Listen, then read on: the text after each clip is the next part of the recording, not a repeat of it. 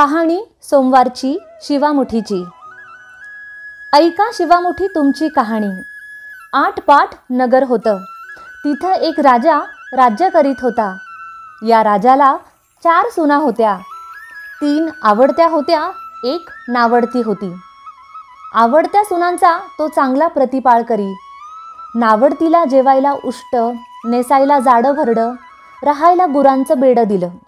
गुराख्याचं काम दिलं. पुढं श्रावण मास आला. पहिला सोमवार आला.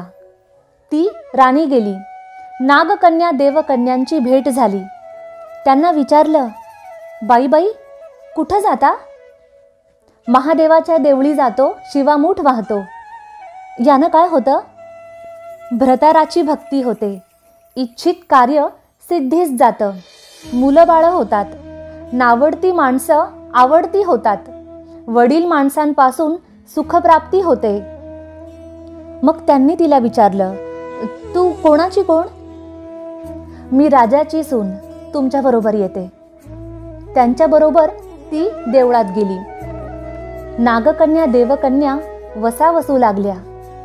नावडती म्हणाली काय ग बयांनो कसला वसा वसता आम्ही शिवामुठीचा वसा वसतो त्या वशाला काय करावं?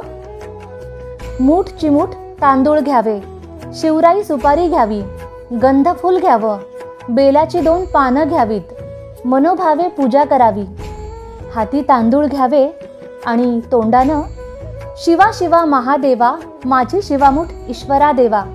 सासू सासऱ्या धीरा भावा ननंदा जावा भ्रतारा नावडती आहे ती आवडती कर्रे देवा असं म्हणून तांदूळ व्हावेत. संध्याकाळपर्यंत उपास करावा. उष्टमाष्ट खाऊ नये दिवसा निजू नये. उपास नाही निभवला तर दूध प्यावं. संध्याकाळी अंघोळ करावी. देवाला बेल वाहावा आणि मुकाट्यानं जेवण करावं. हा वसा पाच वर्ष करावा. पहिल्या सोमवारी तांदूळ दुसऱ्याला तीळ तिसऱ्याला मूग चौथ्याला जव आणि पाचवा आला तर सातू शिवामुठीकरिता घेत जावे. पहिल्या सोमवारी सर्व साहित्य नागकन्या देवकन्यांनी दिलं आणि दुसऱ्या सोमवारी तिला घरून आणायला सांगितलं. त्या दिवशी तिने मनोभावे पूजा केली. सारा दिवस उपास केला. जावानंदांनी उष्टमाष्ट पान दिलं ते तिनं गाईला घातलं. शंकराची आराधना केली आणि दूध पिऊन निजून राहिली. पुढे दुसरा सोमवार आला. नावडतीनं घरातून सर्व सामान मागून घेतलं. पुढं रानात जाऊन नागकन्यांबरोबर मनोभावे पूजा केली. आणि शिवा शिवा महादेवा माझी शिवामुठ ईश्वरा देवा सासू सासऱ्या दिरा भावा ननंदा जावा भ्रतारा नावडती आहे ती आवडती कर्रे देवा असं म्हणून तीळ वाहिले. सारा दिवस उपास केला. शंकराला बेल वाहिला. दूध पिऊन निजून राहिली. संध्याकाळी सासऱ्यानं विचारलं तुझा देव कुठं आहे? नावडतीने जबाब दिला माझा देव फार लांब आहे. वाटा कठीण आहेत. काटे कुठे आहेत? साप वाघ आहेत.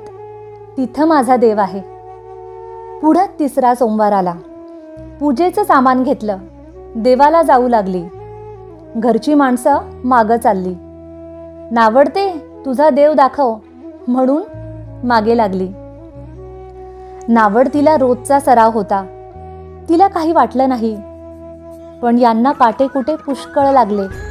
नावडतीची दया आली. आजपर्यंत रानात कशी येत असेल कोण जाणे?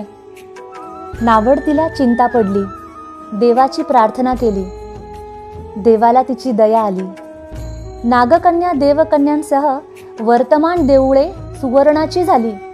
रत्नजडिताचे खांब झाले. हंड्या झुमरं लागली. स्वयंभू महादेवाची पिंडी झाली. सगळ्यांनी देवाचं दर्शन घेतलं. नावडती पूजा करू लागली. गंधफूल वाहू लागली.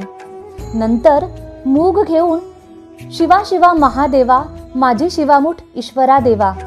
सासू सासऱ्या दिरा जावा ननंदा जावा भ्रतारा नावडती आहे ती आवडती कर्रे देवा असं म्हणून शिवाला वाहिले.